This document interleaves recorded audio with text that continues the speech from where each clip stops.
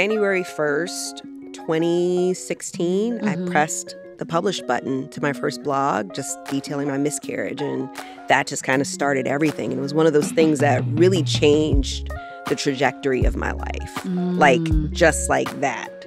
How so. so? How did it change it- Well, the trajectory? It, one, it created c- community. Mhm. the community that I needed. And then before I knew it, I was, you know, it was just one thing after another. It was like this, like one step went to another step and it then another step. Mm. And then before I knew it, my life com- looked completely different yeah. than what it was. Yeah. And so, um, and you had more community. and I had more community. Yeah. So it's like a win-win, you know?